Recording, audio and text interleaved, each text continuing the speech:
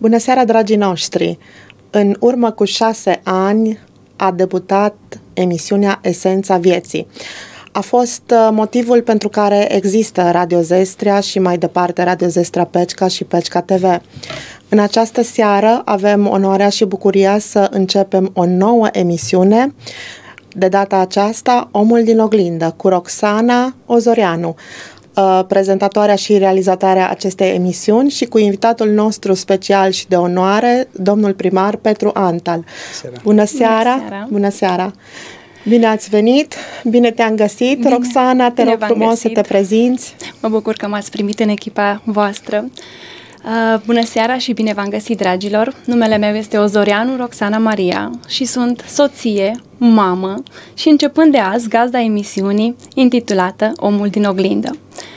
Dincolo de cuvinte, dincolo de ecrane, când ajungem acasă și privim omul din oglindă, ne întrebăm dacă azi am fost mai buni ca ieri sau dacă mâine vom fi mai buni ca azi.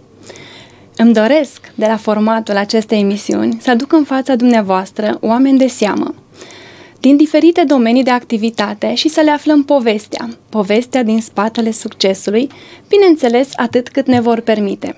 Sunt bucuroasă să îl am ca prim invitat pe omul de seamă al orașului nostru, domnul Antal Petru. Bine ați venit, domnule primar! Vă mulțumesc pentru prezență! Cu mare drag și eu mulțumesc pentru invitație. Uh, Mă bucur că ați acceptat invitația noastră. Uh, Aș dori să descoper omul Petru Antal. Pentru că toți știm că sunteți primarul orașului Pecica, pentru că toți știm câte reușite și ce multe realizări ați făcut pentru orașul nostru. Însă vrem să vedem și povestea din spatele primarului nostru. Și ca o primă întrebare, aș vrea să vă întreb cine este domnul Petru Antal ca om? Da, în primul rând vreau să vă felicit pentru această idee, pentru a face această nouă emisiune a televiziunii Pecica și Radio Zestrea Pecica. Eu cred că majoritatea oamenilor mă cunosc unii chiar foarte bine, alții destul de bine și cred că au avut timp să-și formeze o părere despre mine. Am născut în 30 octombrie 1972 în Pecica, deci de 50 de ani.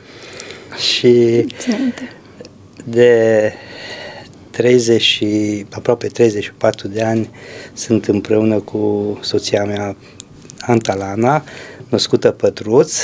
În 1999 s-a născut primul copil, a venit pe lume, e vorba despre Petina, fica noastră care are 23 de ani, iar în, în, în 2011 a venit pe lume și al doilea copil, fiul nostru Peter, care are în acest moment 11 ani și de atunci formăm familia Antal și cred că majoritatea dintre pecicani și nu numai ne cunosc foarte bine, nu neapărat din prisma că sunt primarul orașului Pecica, ci ca și om, ca și Petru Antal, așa cum ai spus, omul din oglindă. Așa e. Aveți o familie foarte frumoasă. Da, mă bucur. Vreau să precizez că primele clase și mai precis grădinița și clasele 1-5 le-am făcut la Pecica, iar din clasa 6 am ajuns la Arad și acolo am și terminat liceu, după care am făcut facultatea de educație fizică și sport și din acel moment până, până acum, mai precis din, din 2000 până în acest moment, lucrez în administrația publică locală și treptat am urcat în ierarhia funcțiilor, am fost consilier local, după care am fost ales viceprimar și de patru mandate sunt primarul localității Pecica și satelor aparținătoare. Care este prima amintire care vă vine în minte din copilărie? O întâmplare care v-a marcat copilărie, una hazlie sau mai puțin hazlie? Puteți povesti? Da, sunt uh, foarte multe lucruri de povestit. Uh, Mie îmi plac să-mi aduc aminte de lucrurile Hazli, în special. Bine, am avut și lucruri nu foarte hazli sau poate unde a trebuit să plâng sau m-a durut fiind copil și eu am, am făcut și prostii și și am fost certat în special de părinți, dar...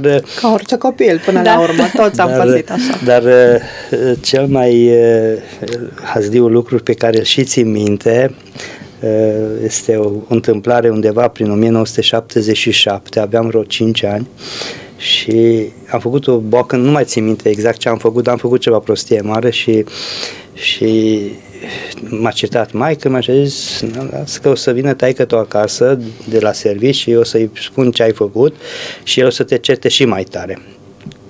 Și așa s-a și întâmplat, a venit tata acasă, a aflat de ce am făcut și tata ca să, să fie și mai autoritar, cu toate că el era cel mai autoritar în casă, a spus, nu mai vreau să te văd în acest moment, ia-ți, fă bagajele, ia-ți lucrurile ce, ce ai nevoie și du-te în lume. Vă dați seama, 5 ani... și v-ați făcut bagajul, domn primar? Da, mi-am, făcut, mi-am luat lucrurile cele mai importante, niște jucării, niște haine. Mama mi-a făcut uh, un pachet de alimente. De drum. De drum. Uh, mi l-a și împachetat frumos într-o într-o material de te, material, material textil, că așa era pe vremea aia, mâncarea se împacheta în, într-o sacoșe mat- din alea, de, din material, da, material da. textil și, și am pornit pe drum, am ieșit din curte, locuiam în apro- apropierea pădurii, nu era departe pădurea și îmi plăcea să, să mă duc cu părinții uh, în acea zonă, eram aproape de Mureș și, și am plecat pe jos știam destul de bine drumul, tatăl meu, acum vă povestesc după când am ajuns matur și părinții mi-au povestit toată întâmplarea, cum s-au comportat și ei. Tatăl meu mă, mă urmărea de la distanță ce fac, unde mă duc și a văzut că mă duc spre pădure, a venit după mine, dar eu când am intrat în pădure, el n-a mai știut pe care erau mai multe drumuri. Până a ajuns el la intrare în pădure, eu am, m-am pierdut, adică am dispărut. Uh, vă dați seama, a, a ales un drum greșit, să mai mă caute, eu am plecat pe un alt drum și nu m-a găsit. Și s-a speriat, s-a dus repede acasă, a alertat toți vecinii, în jur de 20 de persoane și au pornit să-mi caute în pădure. Și m-au găsit după vreo două ore la un popas, erau în pădure amenajate pe acea vreme niște mese cu băncuțe, cu ciuper, un fel de ciupercă și eram acolo și stăteam și ne căji și me- zicea, îmi povestea taică că parcă meditam ce am făcut, de ce am pățit eu așa și de ce am fost pedepsit. Și taică mă vă dați seama, era tare bucuros când uh, a aflat, uh, când m-a, m-a observat și m-a găsit, m-a dus acasă, bineînțeles, când am ajuns acasă, mama de bucurie m-a luat în brațe și a început să plângă de bucurie că am fost găsit și să nu vă spun că după ce s-a terminat uh, plânsătele de bucurie, ce a primit taică meu. Cred că a fost certat, o lecție pentru ambii, și pentru părinți și pentru dumneavoastră. foarte tare pe taică pentru această glumă prostească și mi-a rămas întipărit acest din perioada respectivă să prezentăm. Da, sigur, avem, Aveți și poze, da. Uh, vreau să vă spun că tatăl domnului primar uh, vine frecvent la bibliotecă, este un mare cititor. Uh, Acuși termină raftul cel mai nou cu cărți, cu cărți cele, cele mai noi, cele mai recente și o să trecem la sala a doua unde avem cărțile mai vechi puțin, dar sunt în stare bună. O să revenim cu detalii din viața omului Petru Antal cu povești, cu amintiri, după o scurtă pauză de publicitate, bineînțeles. Pe această cale mulțumim sponsorilor noștri. Publicitate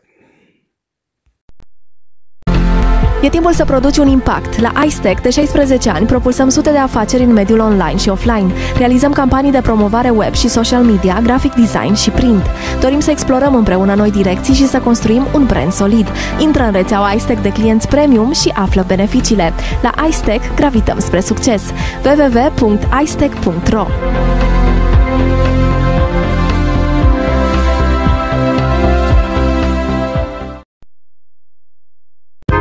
Cauți o firmă de producție publicitară? La Publicitatea Arad realizăm bannere și meșuri, autocolante, obiecte promoționale, inscripționări auto, personalizări magazine, design grafic, campanii media online și offline. Tot la noi puteți rezerva panouri publicitare în Arad și Timișoara. Suntem aici. Contactează-ne www.publicitatearad.ro Servicii profesionale de montaj și termopane de înaltă calitate, plus un discount de 10% la produsele TerraPlast în luna februarie, vă oferă Claudiu Termopane SRL din Pecica. Detalii la telefon 0744 657 924.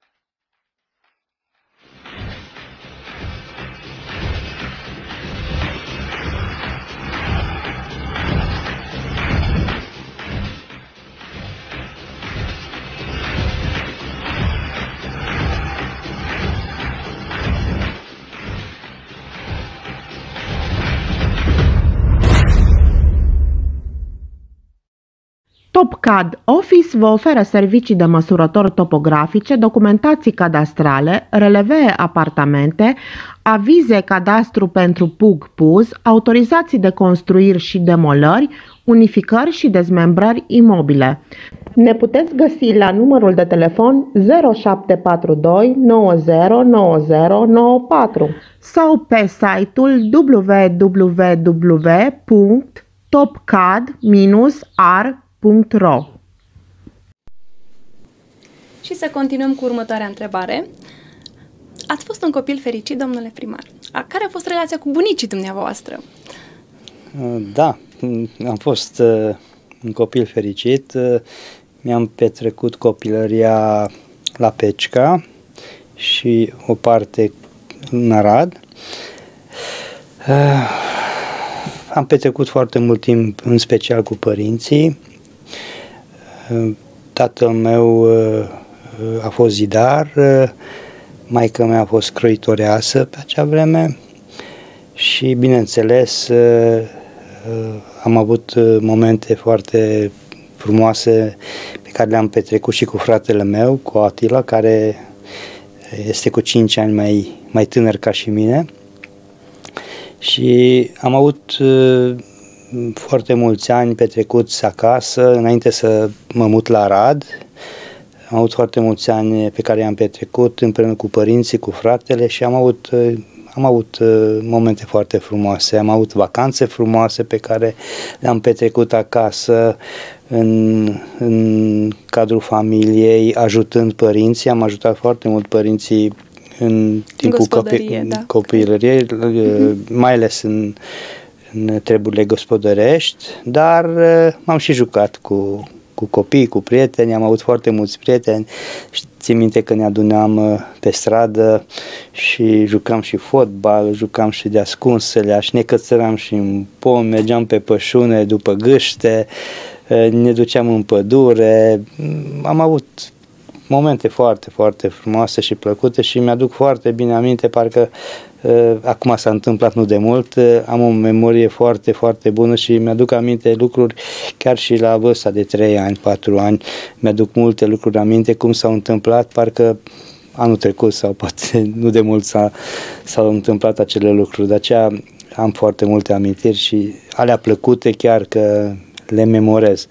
Așa cum am spus la începutul emisiunii, am avut și, și momente de plăcute, a fost certat de părinți sau de profesori sau de acele persoane care i-au găsit uh, în, uh, într-o situație de offside, cum s-ar spune Ca în fiecare termen dintre noi, uh, da. fotbalistic, dar uh, uh, mi-aduc aminte cu mare plăcere de toate momentele frumoase pe care le-am petrecut în copilărie, în special cu părinții și cu fratele și cu prietenii și apropiații cu care am avut colaborare.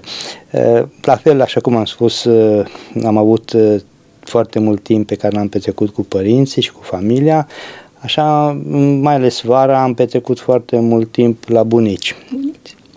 Bunicii din partea mamei uh, mi erau vecini și am petrecut foarte mult timp la ei, mai ales că vara când eram în vacanță, părinții erau la lucru și am fost lăsat la bunici să aibă grijă de mine și bunicii din partea numai că mai erau aproape ca și părinții Părinții, mei, da. care uh, se ocupau de dimineață până seara, până veneau părinții de la lucru, dar am avut relații foarte bune și plăcute și cu bunicii din partea tatălui meu, care și ei stăteau tot la Pecica, nu foarte aproape de, de locuința noastră și când eram mai mic doar părinții eh, mă duceau la bunici.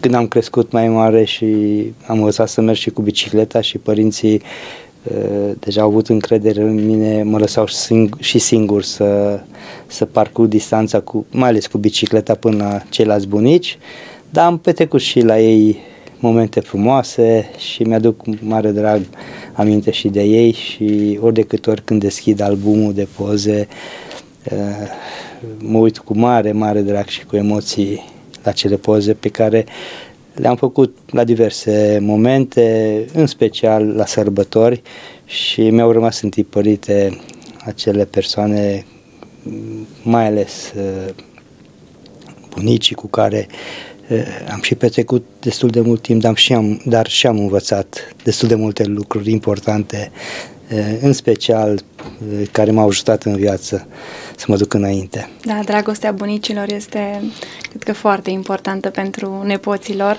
și ei sunt ca și părinții noștri. Până la urmă înlocuiesc foarte bine părinții. Poate de multe ori dragostea lor este, nu știu, poate mai...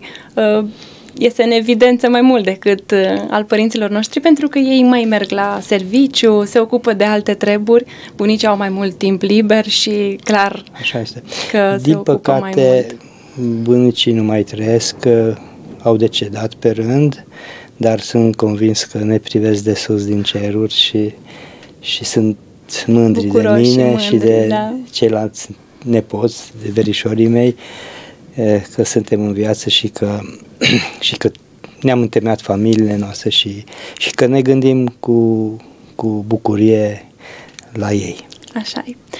Care au fost hobby-urile dumneavoastră? Ce, ce Am avut- bucurie aveați pe lângă... Am avut uh, multe hobby-uri uh, când am fost uh, copil mai mic, undeva prin anii 70, aveam vreo 4, 3, 4, 5 ani, adoram să colecționez soldăței. Aveam sute de soldăței cu căluți, cu tot fel, cu indieni, cu cowboy, cu tot felul de, de jucării de acest gen și le număram. Aveam un inventar uh, a soldățeilor și, și dacă îmi lipsau uh, din, că aveam un numărător și știam să le număr foarte bine și cunoșteam foarte bine și când uh, îmi lipseau din soldăței uh, știam că au fost niște prieteni pe la mine și s-ar putea să, le, să fie Să fi buzudar, dispărut. să fie buzunarul lor. Dar uh, când mergeam la ei uh, la joacă, întotdeauna le găseam la ei și atunci le recuperam, cum s-ar spune așa finuți, ca să, ca să nu se supere nimeni. Deci în acea perioadă aveam uh, acest hobby să adun soldăței. Mm, toți care veneau la mine, în special persoanele adulte, veneau la noi, uh, știau că sunt colecționer de soldăței și mă aduceau câte un soldățel și așa, cred că am avut vreo 4-500 de soldăței, un sac mare de soldăței. Ce ați făcut cu ei după ce... I-am lăsat la fratele meu, după aceea și fratele meu a devenit uh, uh, colecționer, a mai educat încă mai multe și după aceea le-am dat la copiii noștri, la nepoți, la toți care au venit în urma noastră și...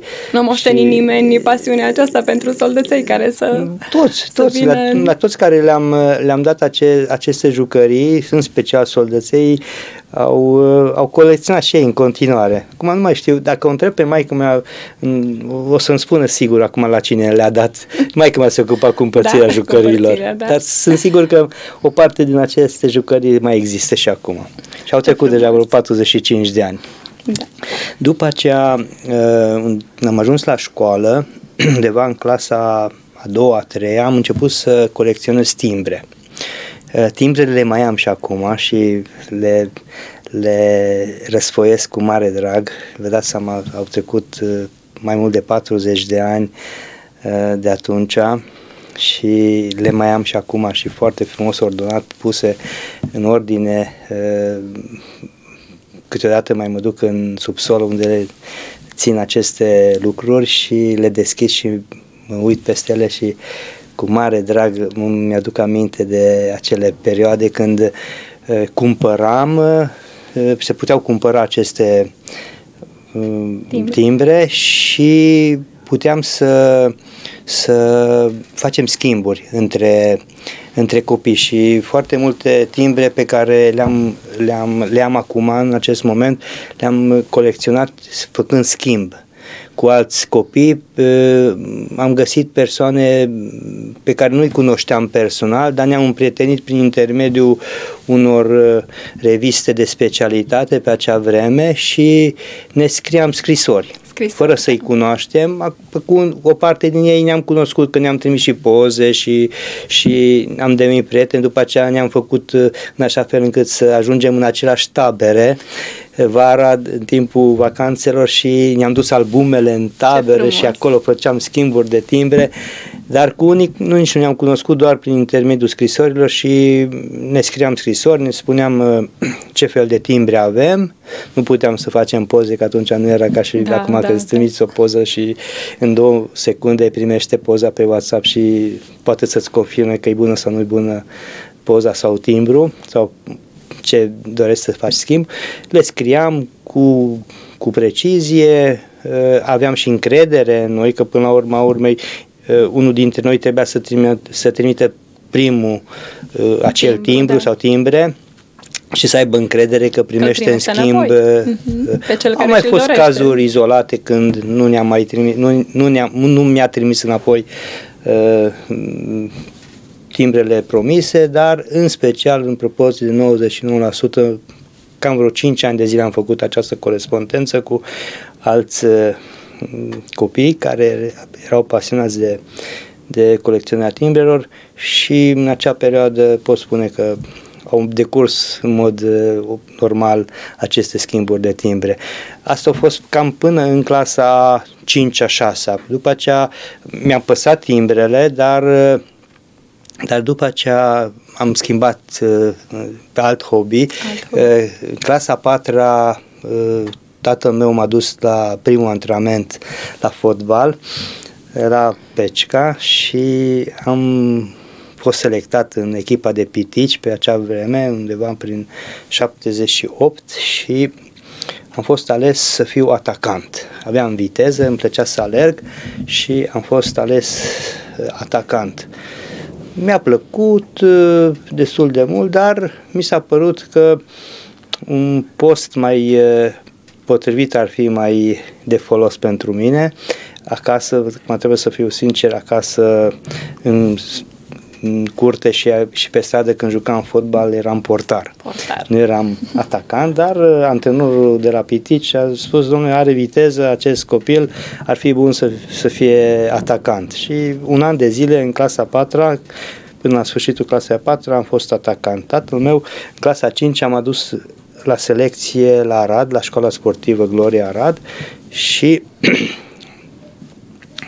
a aliniat vreo 30 de copii antrenorul uh, Dan Bolduma, că el a făcut selecția și ne-a întrebat pe fiecare ce ne-ar place sau ce ne place să jucăm și când a ajuns la postul de portar am făcut pasul în față vreo patru copii.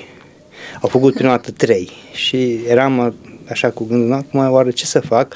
Că, că la Pecica un an de zile am fost atacant și deja știam cât de cât uh, ce trebuie Tehnica. să fac un, ce trebuie să fac un mm-hmm. atacant și da zic eu fac încercarea, fac și eu un pas în față și să vedem ce o să spună antrenorul, să vedem ce o să spună tatăl meu. Tatăl meu era undeva în lateral și urmărea selecția.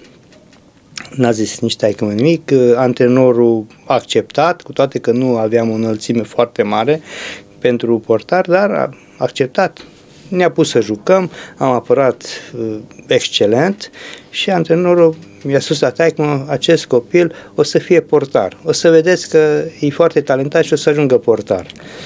Și așa, așa s-a și întâmplat. Uh, uh, era vară, între clasele, clasa 4 și clasa 5 era vacanța de vară și știu sigur că mi-a spus antrenorul că dacă mă va selecta, o să trebuiască să, mut, să mă mut la Arad.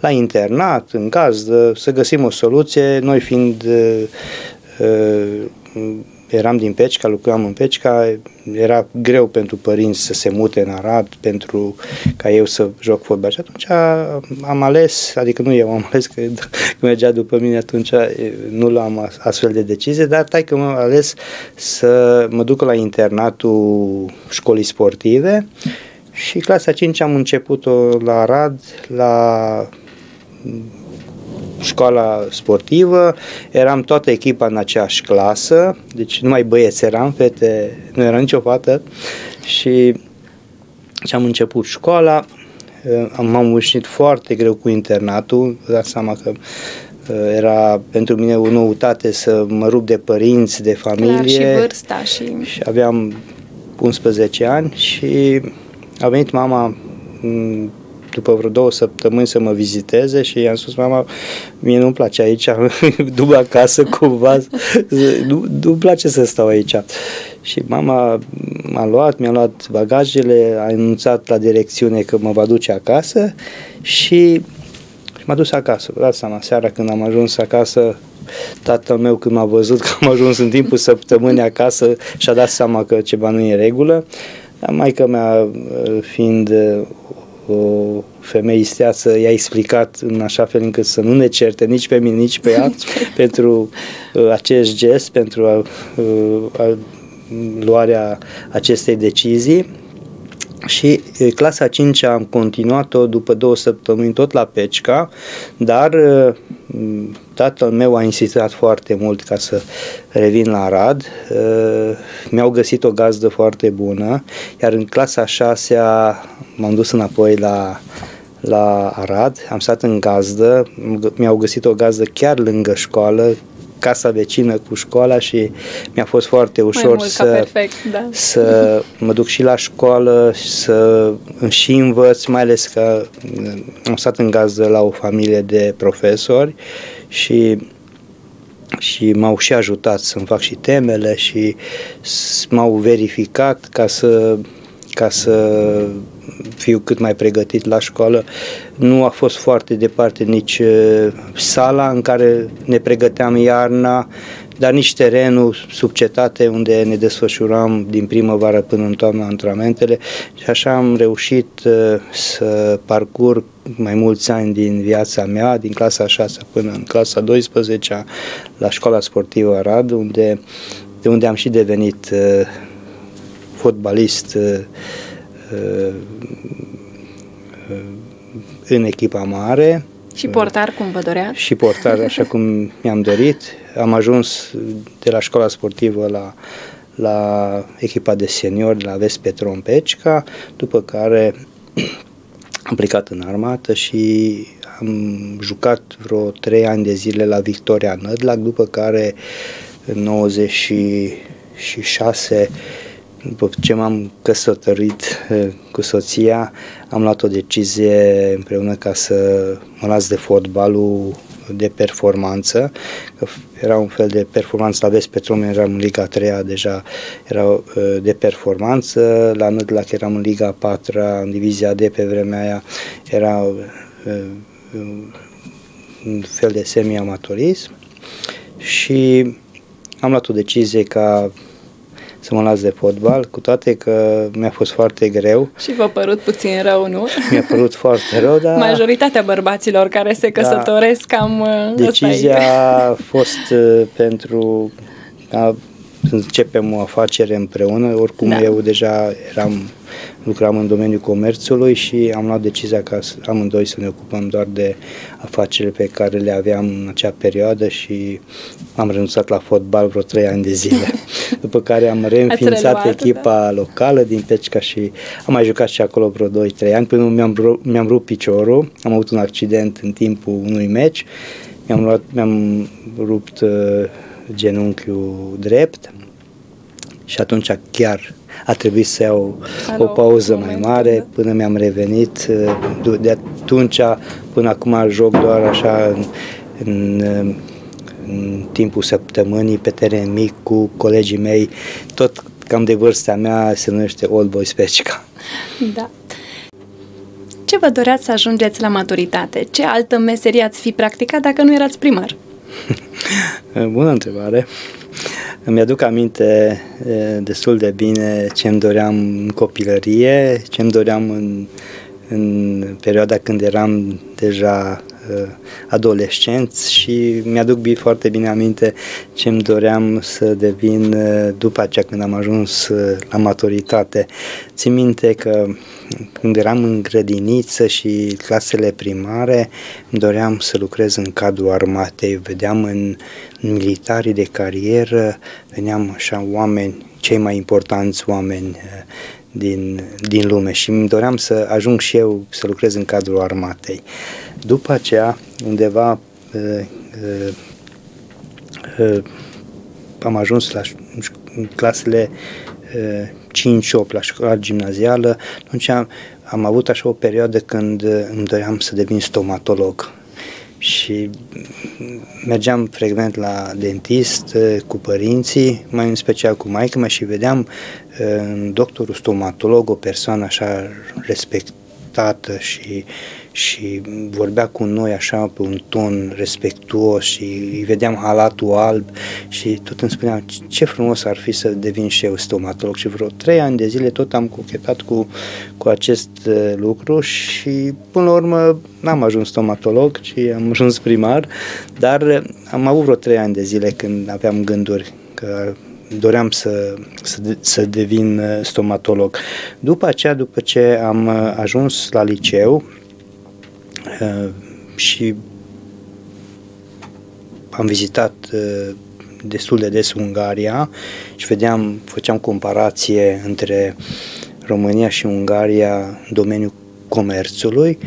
Am cochetat uh, foarte multă vreme să lucrez în domer- domeniul comerțului.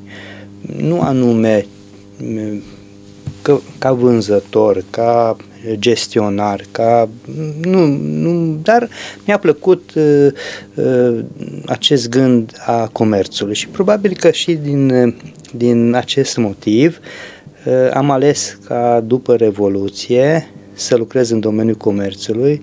Probabil că o mare parte dintre pecicanii care au locuit în perioada aia în anii 90 după Revoluție în Pecica și mai aduc aminte că am avut câteva magazine deschise în Pecica și pe acea vreme erau mult mai puține magazine față de ce avem acum în oraș și ce avem în, în România.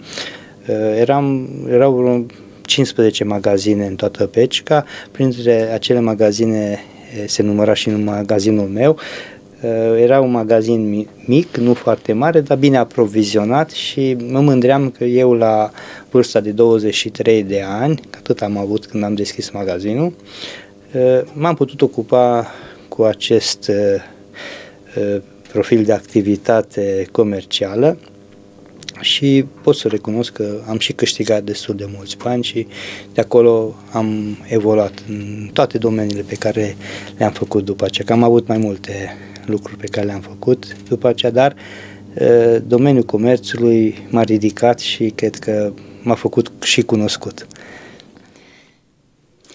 Ce altă meserie ați practica în prezent dacă nu ați fi primar?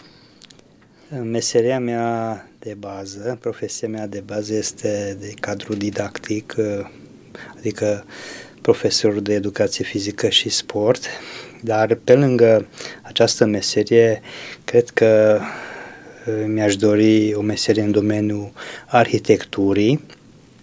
Mă pasionează foarte mult proiectarea, dar uh, și construcția în sine a clădirilor. Cui sunteți recunoscător pentru sprijinul primit în viață? În primul rând părinților. Este cel mai important lucru de știut și cred că majoritatea dintre noi în primul rând mulțumim părinților că ne-au dus pe via- în viață, ne-au dus pe lume și ne-au crescut.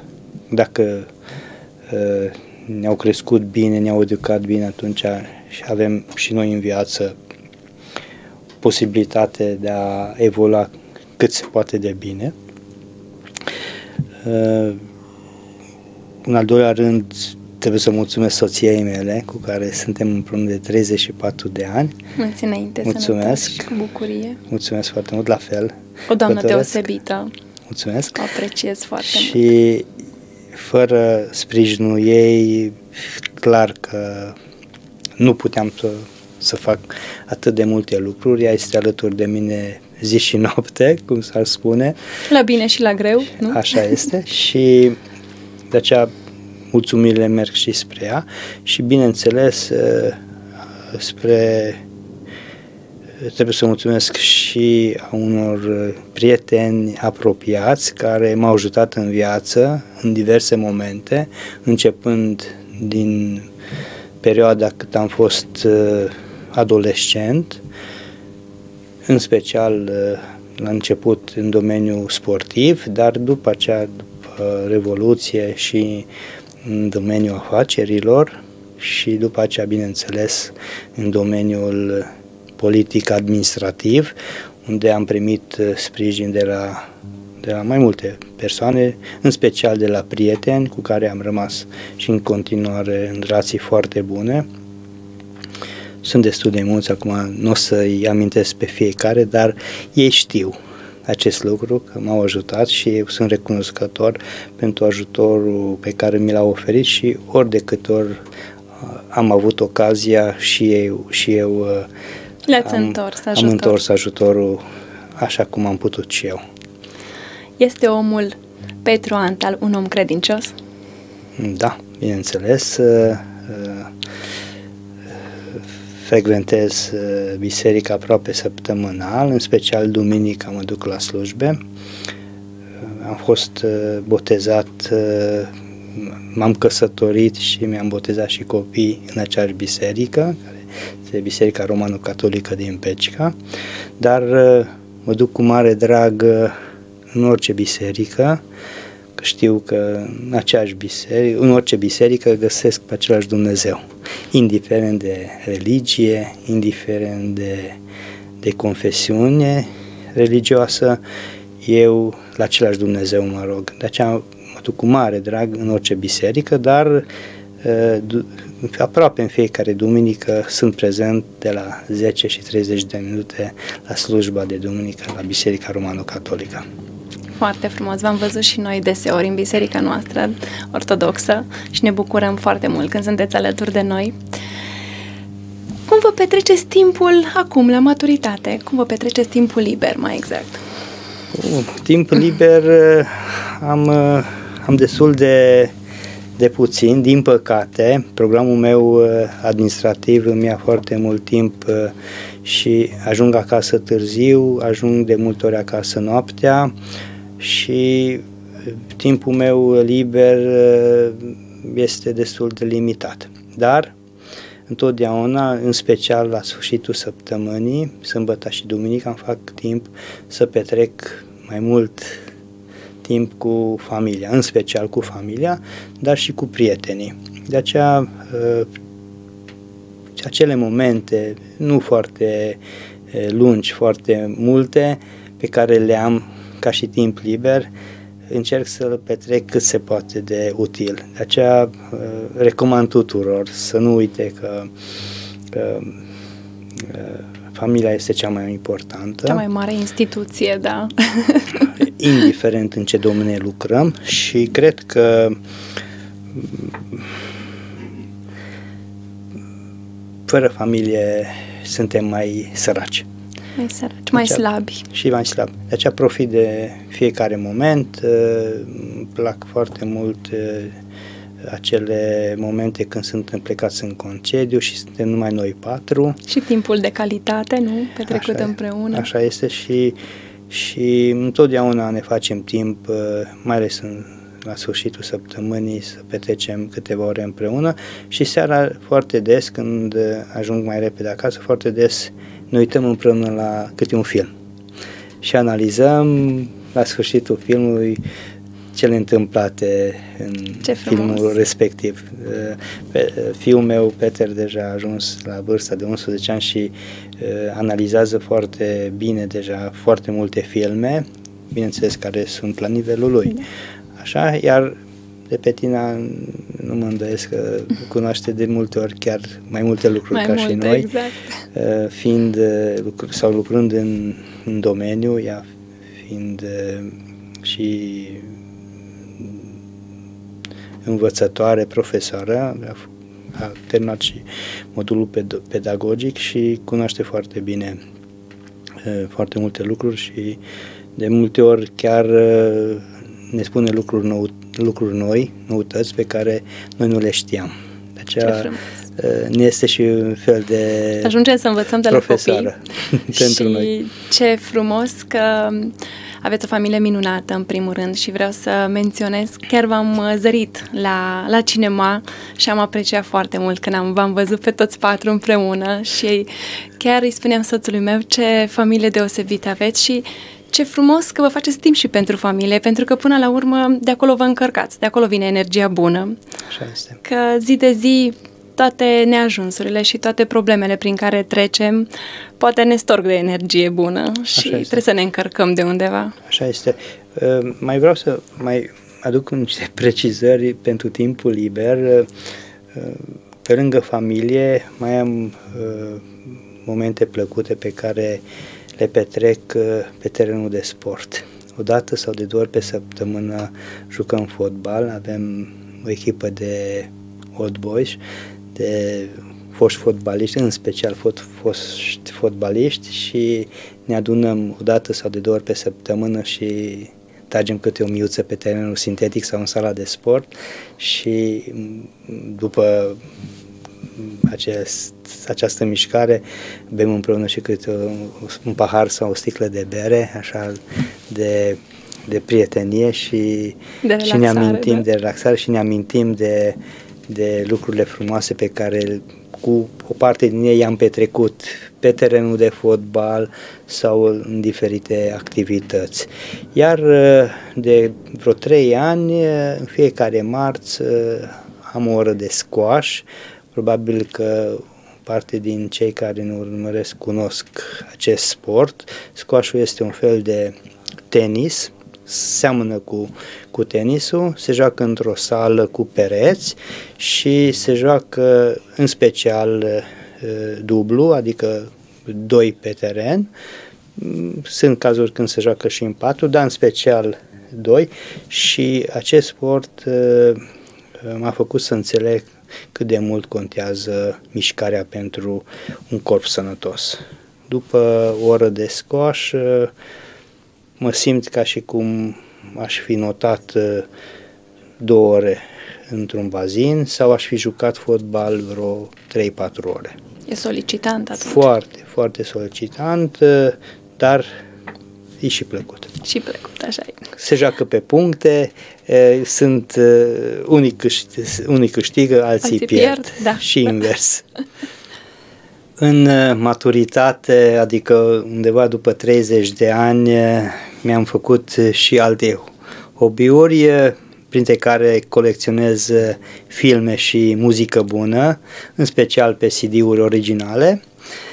Iar de câțiva ani mă pasionează foarte mult gastronomia, în special gastronomia locală. Am învățat de ceva vreme să gătesc, de la soție în special, dar și de la maică mea și de la sacra mea. Și când am un pic de timp, cu mare drag îmi pun șorțul de bucătărie și împreună cu soția, de multe ori chiar cu fica mea sau cu fiul meu, că deși el începe să învețe gastronomia din apartamentul nostru de acasă, cu mare drag gătesc, nu lucruri, nu mâncăruri foarte grele, dar sunt câteva mâncăruri pe care le știu foarte bine să le fac, printre care e și langoșul pufos pe care am prezentat uh, într-o emisiune televizată, dar mai sunt și alte mâncăruri tradiționale pe care chiar uh, sunt și gustoase, dar mie personal îmi plac uh, să le prepar. Care e marele dumneavoastră regret? Da, asta e cred că cea mai, cea mai bună întrebare pe care mi-ai pus-o până acum. E greu de răspuns. Sunt multe lucruri pe care le-aș fi făcut altfel dacă cineva îmi spunea din timp nu fă așa sau fă altfel. Dar cred că cel mai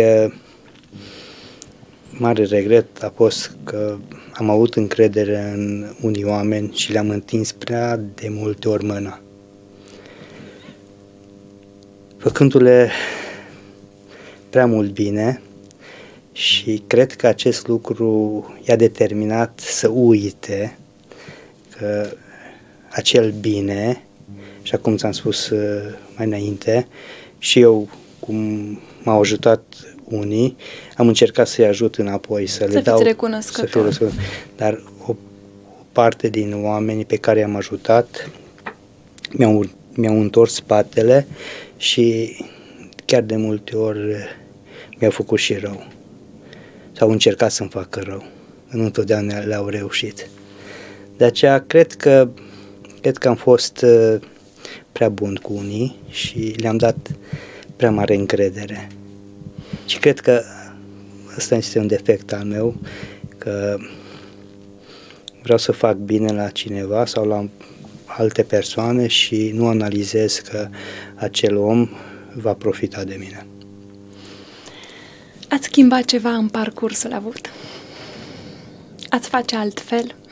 Da, da. Cum, cum ți-am spus mai înainte, dacă a, aș avea un înger care să-mi șoptească uh, înainte să fac ceva, atunci aș face altfel, bineînțeles. Dar uh, trăiesc cu, cu gândul că, până la urmă, Dumnezeu așa a vrut. Fiecare are un parcurs. Cu suișuri și, și coborâșuri. Exact. Și indiferent uh, cum ne gândim noi, că până la urmă, când s-a întâmplat un lucru negativ sau un lucru care îți doreai să fie mai bun, uh, te gândești, oare nu a fost cineva să-mi spună cum să fac sau unde a fost îngerașul pe care îl așteptam să-mi, să-mi spună? Nu, Dumnezeu așa a vrut. Probabil că Dumnezeu a vrut, a avut o lucrare cu, cu mine, cu tine, cu, cu despre cine vorbim și așa a trebuit să se întâmple. Și poate că așa, că, așa cum s-a întâmplat și la un moment sau la început ți se pare o chestie rea sau dureroasă, în timp îți dai seama că de acolo a pornit o chestiune și la sfârșit a fost un lucru bun sau foarte bun pentru tine. De aceea trebuie să avem încredere în Dumnezeu, că Dumnezeu Așa ă, ne, ne netezește drumul în așa fel încât fiecare să primească ce merită. Așa e. Cum reușiți să îmbinați viața personală cu cea profesională? Acum ne-ați povestit un pic din uh, hobby-urile dumneavoastră și cu timpul liber, cum îl petreceți, dar cum reușiți așa să vă organizați în sensul ăsta? Da, așa cum uh, ți-am răspuns la o întrebare anterioară legat de timpul liber, programul meu profesional este destul de încărcat și îmi rămâne destul de puțin timp pentru viața personală. Dar știu două lucruri importante. Viața este scurtă și trebuie trăită, iar anii care se scurg nu ți le mai dă nimeni înapoi. Adică eu am ajuns la 50 de ani. Mulțumesc, de multe, mulțumesc apel. De multe ori uh, mi-aș dori să fiu de 30 sau de 20, să fiu chiar atunci când am început viața mea uh, de major, să, să încep din nou și să fac lucrurile altfel, să fac lucrurile mai bine, să fac alte lucruri mai bune, dar nimeni nu-ți mai dă timpul înapoi, de aceea trebuie să fii foarte bine gândit ce faci, să faci cât mai mult bine și ție, și familie, și tuturor la care poți să le faci bine și fiecare moment trebuie trăit. Că ești împreună cu familia, că ești împreună cu colegii, că ești împreună cu prietenii, cu neamurile. Fiecare moment trebuie trăit în mod pozitiv. Niciodată să nu ne gândim în mod negativ. Sunt foarte, am văzut foarte multe familii, neamuri, frați, care se ceartă. Se ceartă pentru nimicuri, se ceartă pentru avere, se ceartă Așa. pentru un cuvânt greșit spus. Nu știm să iertăm, nu știm să, să spunem, da, am greșit, nu știm să ne recunoaștem greșelile, nu știm să, să, să facem lucruri bune, știm să facem lucruri rele, care zicem noi că lucrurile rele sunt ușor de făcut. Da, la prima vedere așa este. Dar, dar lucrurile bune, cine știe să le facă? Sunt puțini care știu să le facă lucrurile bune. Așa din păcate, din păcate, uh, suntem tot mai puțini oameni care știm să facem lucruri bune. Uh, pentru ca să știi să faci lucruri bune, trebuie să fii bun. Dacă nu ai o inimă, inimă bună și uh, nu înțelegi că Uh, lucru făcut, uh, un lucru uh, bun făcut cuiva aduce bucurie altor oameni, până atunci nu o să-ți, nu o să dai seama ce înseamnă să, să-ți facă bine. Dar cel mai uh, dureros este acei oameni care primesc ajutor și le face bine cineva sau alte persoane, ei nu știu să dea mai departe. Și și mai dureros este acel lucru când primești un lucru bun și dai mai departe un lucru rău, adică faci rău. Cineva ți-a făcut bine și tu, nu neapărat la acel om, ci astăzi ți-a făcut cineva bine și mâine tu faci rău la altcineva. Poate nu-i faci la cel care ți-a făcut bine, că ți-e rușine a doua zi să-i și faci rău. Dar tu a doua zi nu conștientizezi că uh, acel lucru bun pe care l-ai primit ieri a fost un dar de la Dumnezeu și Dumnezeu vrea de la tine să faci și tu bine. Dacă poți chiar mai, de mai multe ori, de ori de câte ori faci mai bine, de atâtea ori, cel puțin de atâtea ori primești de la altcineva bine. Și asta nu înțelegem noi că făcând bine la cineva, vei primi și tu bine de la altcineva. Exact, despre, aceasta, despre acest lucru am spus și în introducerea emisiunii, omul din oglindă, de fapt, asta înseamnă să te uiți în oglindă și să vezi ce ai făcut tu bine azi și dacă n-ai făcut azi chiar atât de mult bine cât ți-ai dorit, încearcă mâine și până la urmă tot o să reușești. Despre asta e omul din oglindă. Te privești și vezi ce-i bun la tine și ce-i bun la ceilalți. Așa doar suntem, suntem puțini care înțelegem acest lucru și eu m-aș dori ca toți factorii care au posibilitatea să să le explice la oameni acest lucru. Știu că la biserică foarte mult se discută despre acest lucru. Chiar îl urmăresc pe Părintele Cosner. Uh, am fost uh, în ultimele luni de mai multe ori și la dânsul la biserică și a vorbit foarte, foarte mult despre bunătate. Și acest lucru am găsit și în bisericile uh, neoprotestante. Fiecare duminică aud acest lucru de la, de, de la părintele romano-catolic Ferenc Segledi. L-am auzit și pe Părintele Cătălin Siladi vorbind despre aceste lucruri și cred că uh, preoții sunt cei mai în măsură, bineînțeles la cei care frecventează biserica, biserica cei da. care nu merg la biserică n-au de unde să audă acest lucru, dar mai sunt și alți factori, cum ar fi uh, cadrele didactice, pot să transmită prin, prin elevi foarte multe lucruri părinților și, bineînțeles, la ședințele cu părinții pot să aibă astfel de atitudini și, bineînțeles, toți care care sunt implicați în diverse programe, indiferent că vorbim despre radio, despre televiziune sau presă scrisă, chiar și prin postări simple pe Facebook. Eu citesc uh, foarte mult uh, aceste postări, zic eu, uh, interesante și prin acest intermediu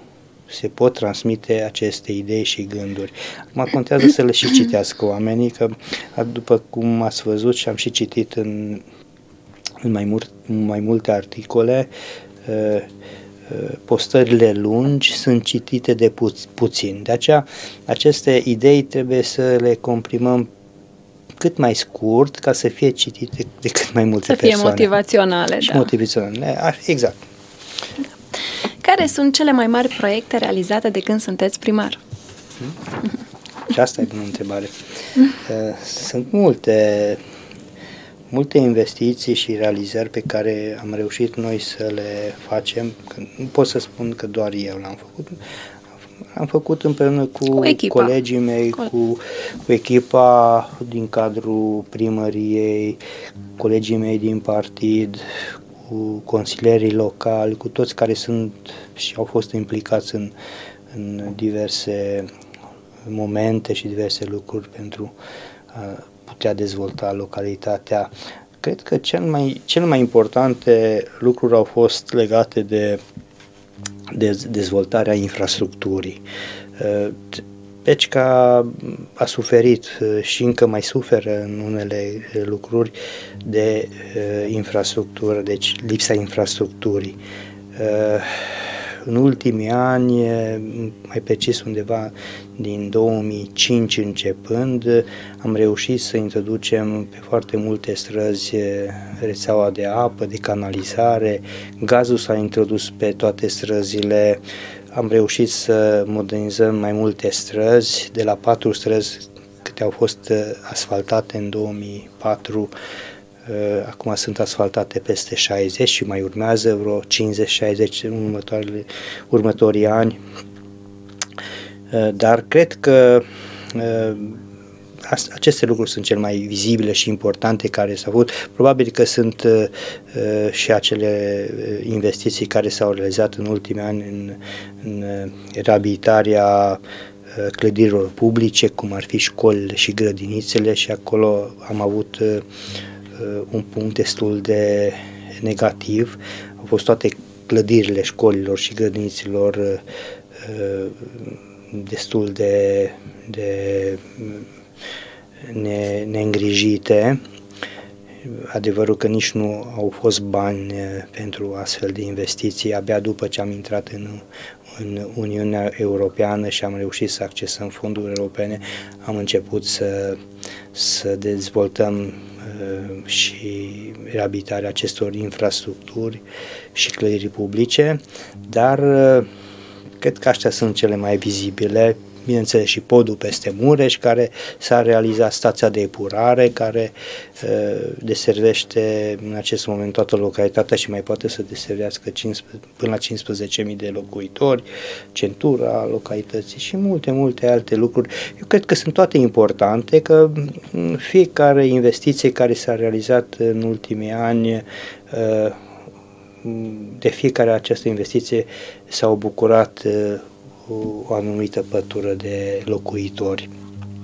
De aceea ă, pot spune că cei care au mașină se bucură pentru asfaltarea unei străzi, cei care au bicicletă se bucură că pot circula pe pistă pentru bicicliști, cei care au copii la școală sau la grădină se bucură că acei copii uh, au uh, condiții foarte bune în acele clădiri și multe alte lucruri. Cei care vin la primărie găsesc uh, birou modernizat sau fun- funcționarii care au condiții bune pot deservi cetățenii în condiții optime, cei care fac sport pot face sport pe terenuri modernizate, cei care sunt pasionați de cultură pot participa la evenimente culturale în, în, în spații renovate și care oferă condiții foarte bune și aș putea continua cu aceste exemple, de aceea cred că fiecare investiție a atins uh, uh acei oameni care uh, s-au bucurat și se pot bucura de aceste condiții. Dar, în special, infrastructura care încă mai este dorită pe multe străzi, unde încă nu am reușit să ajungem cu asfaltarea și modernizarea străzilor, dar eu spun că suntem pe un drum bun și, și cred că cel mai uh, important lucru pe care o să-l, uh, o să realizăm în următorii ani o să fie o investiție foarte dorită de cetățeni, nu pot să o spun acum, poate că o să-mi pui o, o întrebare unde, unde se va regăsi și această investiție, dar o să vedeți că în curând o să anunț această investiție și acest lucru pe care îl dorește foarte multă lume. Așteptăm surpriza. Sigur. Spuneți-ne, vă rog, trei calități și trei defecte pe care le are primarul nostru. da, uh, sunt uh, multe lucruri pe care uh, le-aș putea spune, dar cred că cele mai importante ar fi la calități aș putea spune că sunt un om ordonat, harnic și sincer. Îmi place sinceritatea și adevărul, sunt un om harnic, că altfel nu puteam ajunge aici și, și îmi place ordinea. Sunt obsedat eh, pentru ori și, și de ordine și eh, îi cer pe toți care sunt în jurul meu, care nu sunt ordonați. Iar uh, la defecte, și acolo sunt destul de multe, dar aș, aș rezuma la trei, încăpățânat, neîncrezător și nerăbdător. Nerăbdător. Uh, vreau să fac multe lucruri repede și de multe ori Lipsește mă grăbesc. răbdarea. Da, mult, de multe ori mă grăbesc, dar până la urmă le corectez și ajung la, la lucru dorit. Și ultima întrebare. Ce planuri aveți pentru viitor? Mm. Apropo de surpriză. ați, parcă da, ați... ai intuit. Da, parcă... Aș, aș putea să spun uh, un lucru important uh, legat de localitatea noastră. Eu vreau să, să spun că mi-aș dori să devin un bunic fericit. Eh, nu depinde de mine, am doi copii, eh, Petina are 23 de ani și Mulțumesc. intră o perioadă în, în care poate să se va putea căsători, eh, poate să întemeze o familie și să ne facă fericiți și să devenim bunici. Eu m-aș dori să fiu uh, un bunic fericit, care să aibă grijă de familie și de nepoți m-aș bucura foarte mult când ajung și eu pensionar, voilà, după 60 de ani, să-mi pot duce nepoții la grădiniță, la școală, să mă duc cu ei la antrenamente, să ne jucăm, să le fac pe plac așa cum de obicei fac bunicii pentru nepoți. Și cred că tot, nu numai eu, cred că toți ne dorim acest lucru, ca să ajungem la o vârstă înaintată, să fim sănătoși și să ne bucurăm de familia noastră și dacă avem nepoți înseamnă că uh, și copiii noștri au avut uh, noroc în viață și, bineînțeles, noi putem să ajutăm și pe nepoții noștri ca să meargă pe aceeași linie cum i-am dus noi și copiii noștri. În uh, plan profesional îmi doresc să continui dezvoltarea localităților pe care le conduc, Pecica și satele aparținătoare, bineînțeles în măsura posibilităților, că totul depinde de bani și dacă nu ai bani suficienți, atunci nu poți să faci uh, atât de multe lucruri pe care le dorești și pe care le doresc oamenii, că nu doar eu doresc să avem de toate, ci majoritatea oamenilor care locuiesc uh, în Pecica și în satele aparținătoare. Dar uh, nu mi-ascund visul pe care mai înainte ți-am și spus și am, am, am zis că poate nu o să trebuiască să divulg astăzi acest lucru, dar uh, mi-aș dori foarte mult să realizăm acel strand termal pe care vrem să-l facem la Pecica. O mare bucurie pentru toți. Da, chiar în acest an o să lucrăm la proiectarea strandului și trebuie să precizez că avem șanse mari să facem această investiție. De anul trecut orașul nostru a devenit localitate turistică de nivel local, care ne aduce niște beneficii vom putea de anul acesta să accesăm uh, proiecte europene pe linie de turism. În județul Arad sunt puține localități care pot accesa astfel de proiecte și sunt bani alocați pentru fiecare regiune, pentru fiecare județ și avem toate șansele să putem câștiga acel proiect pe care vrem să-l scriem și să-l depunem la Uniunea Europeană. Este uh, prima sesiune de finanțare pe astfel de linie de finanțare pentru România și sunt convins că Pecica, ca și până acum, a avut noroc la foarte multe proiecte europene uh, și acest proiect va fi câștigat și peste câțiva ani să avem acel strand minunat, strand termal, care va deservi foarte multă lume și cred că va fi un pas important pentru dezvoltarea localității și la nivel turistic. Trebuie să amintesc că acest strand termal, dacă o să reușim să-l construim, va aduce beneficii celor care locuiesc aici, care vor deschide diferite afaceri, indiferent că vorbim despre partea hotelieră sau gastronomică și vor, se vor deschide multe, multe mici afaceri care vor aduce la bugetul celor care vor face aceste afaceri și în special vor fi pecicani, vor aduce bani în bugetul lor personal și probabil că majoritatea Uh, va investi, reinvesti această sumă câștigată în dezvoltarea afacerii și cred că este un lanț uh, până la urma urmei că cei care câștigă Uh,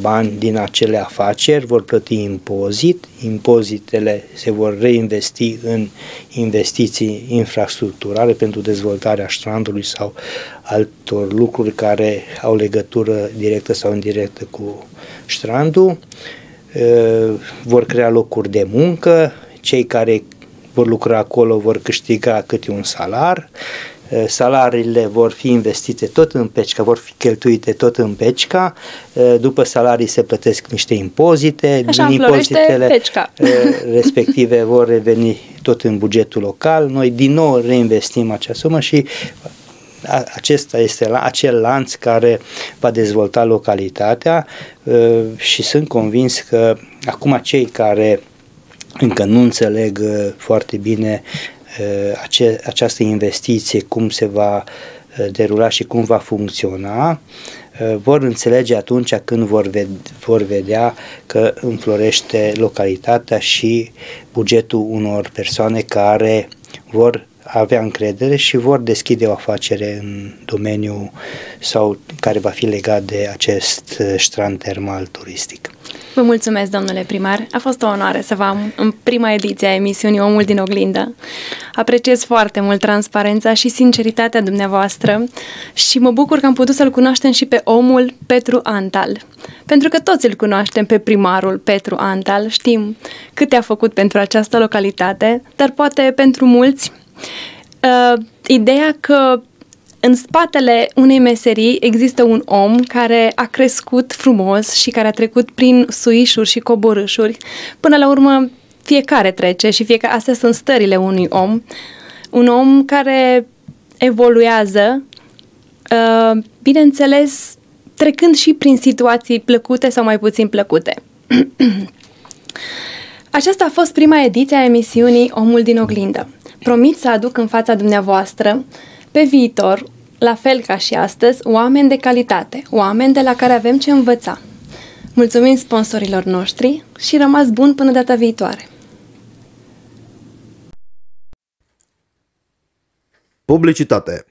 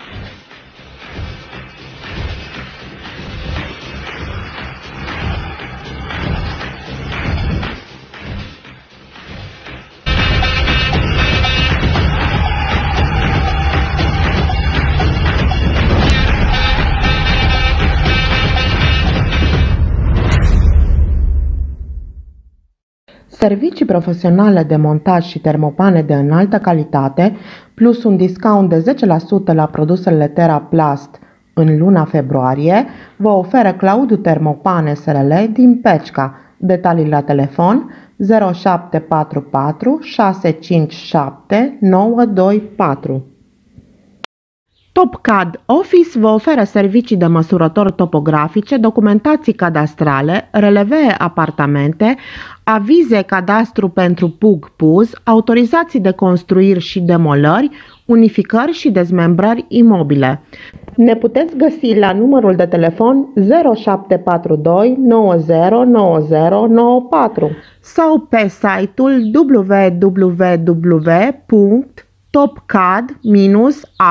www.topcad-r.ro E timpul să produci un impact. La iStack, de 16 ani, propulsăm sute de afaceri în mediul online și offline. Realizăm campanii de promovare web și social media, graphic design și print. Dorim să explorăm împreună noi direcții și să construim un brand solid. Intră în rețeaua iStack de clienți premium și află beneficiile. La iStack gravităm spre succes. www.istack.ro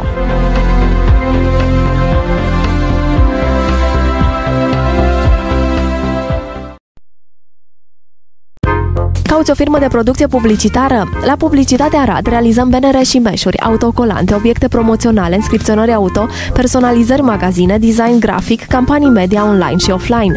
Tot la noi puteți rezerva panouri publicitare în Arad și Timișoara. Suntem aici. Contactează-ne www.publicitatearad.ro